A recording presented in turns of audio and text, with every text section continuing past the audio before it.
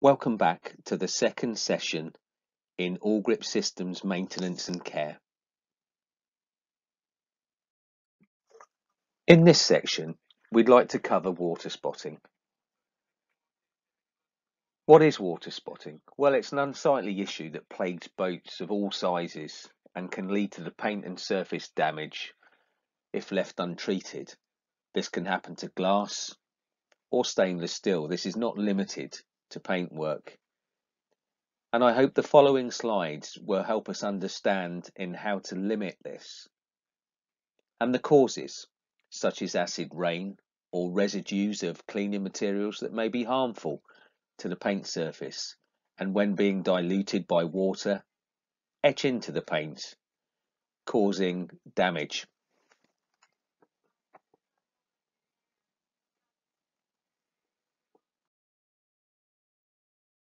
Water spotting on exterior paintwork is almost inevitable. However, in nearly all cases, if dealt with correctly, water spotting can be managed, minimized, and in many cases effectively removed. The water in this case is the carrier. It dissolves the pollution, which can become extremely aggressive to the yacht exterior surfaces when in hot weather, etching or bleaching the surface. This can cause discoloration, surface etching, surface imperfections, and an increase in a haze and a decrease in your gloss. These look to be visible blotches or patterns on the surface of your vessel. We need to consider how the pollutants dissolve within the water. This can be from residue of cleaning materials or from acidic rain in many cases. Water spotting can be broken down into two categories. We have mineral deposits and chemical etching. To help understand these, we've classified them as per the paragraph below. The mineral deposits, also known as type 1, are above surface mineral deposits, abbreviated in this presentation as ASMD and depicted in the top image of this page. Our second category, chemical etching or erosions, can be known as type 2 or type 3. These are below surface water spot etching, abbreviated in this presentation to BSWSE, the lower picture on this page. So let's look at type 1, the above surface mineral deposit. This is when the surface of the paint, glass or even stainless steel handrails have contamination from the minerals left after the water has evaporated from the surface. These deposits can often be washed off using strong detergent or vinegar solutions. But we need to take note, depending on the type of mineral present, the length of time that it's been on the surface, or the temperature that it's been exposed to, it may have become baked on. These aren't always easy to remove and sometimes can still remain after cleaning.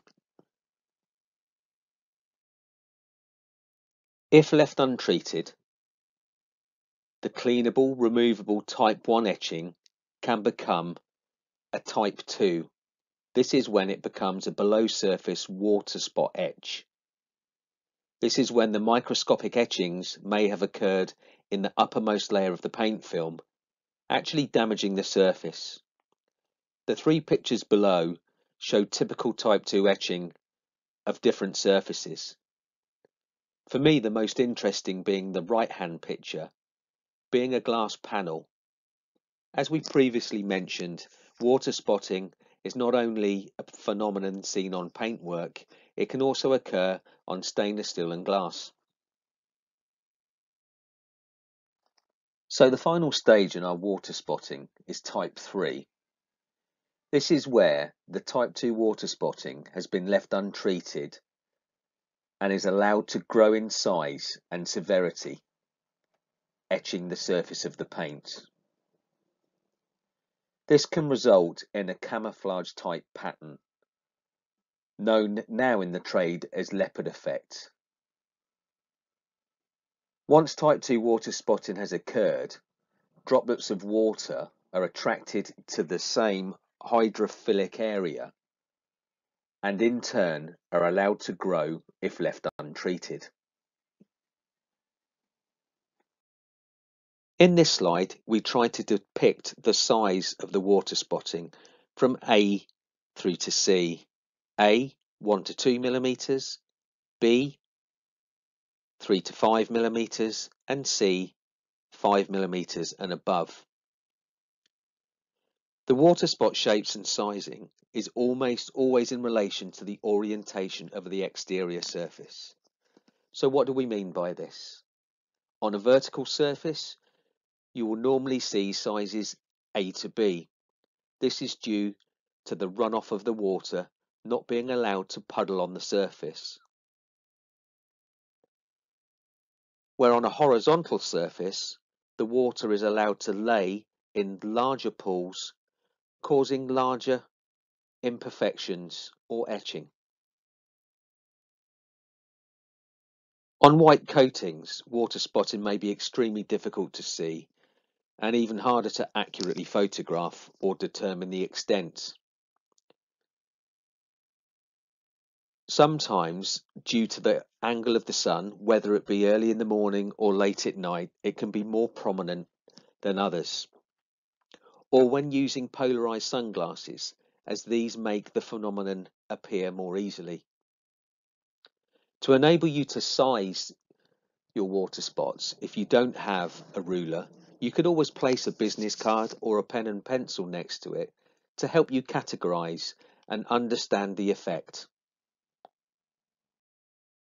In the previous slides, we've talked about types of water spotting and graded them and touched a little bit on their size and how they grow. What we want to do now is to go into slightly more detail to explain how this happens.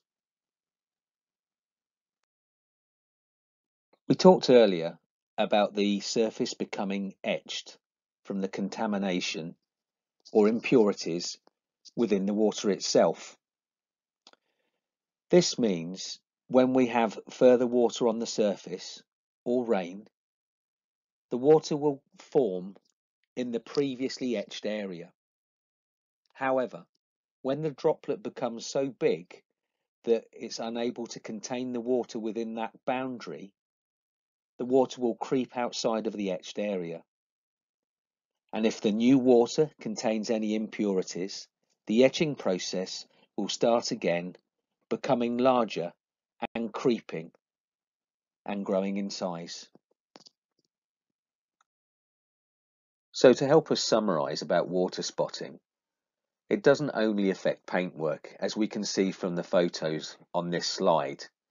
It can be on wood surfaces, glass and stainless steel, and at different severities such as type 1, type 2 or type 3 as previously stated.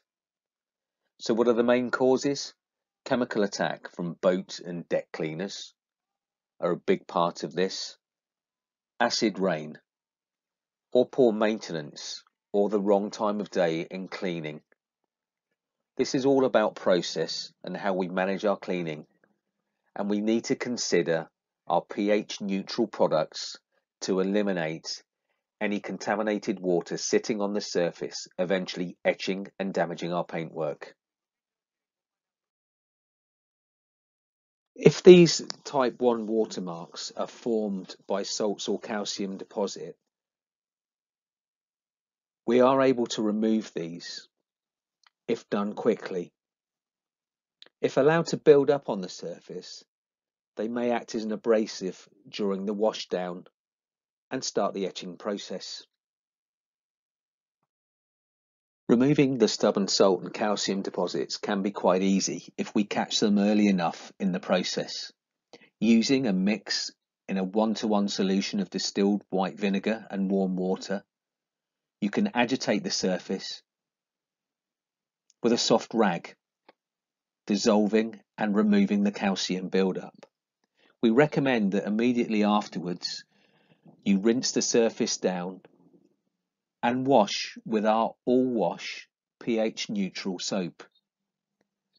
Thoroughly washing and rinsing will allow you to remove any of the vinegar solution left on the surface, stopping any further etch in the future. It's always good practice after use to wash your vessel down with fresh water to remove the salt and calcium contamination. As if they remain on the surface in the baking sun, the water will dry, leaving the deposit to etch to the surface. This is probably an obvious part of this, but a major part nevertheless. We've talked about the water being the carrier of the pollutant, dissolving it and causing etching if left on the surface.